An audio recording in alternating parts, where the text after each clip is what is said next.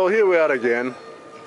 I'm at my favourite restaurant at Lake Las Vegas, the Luna Rossa. We come here all the time when we're down here. It's such a wonderful environment.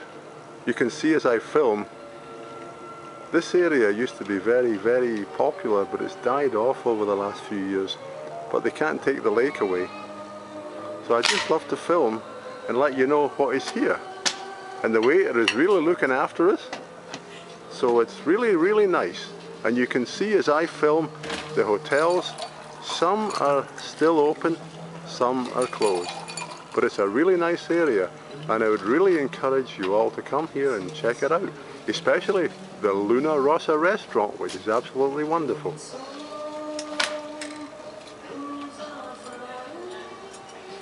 And you can see my friend, Patricia. She really loves it. So do I. Luna Rossa, Lake Las Vegas, Nevada. Check it out.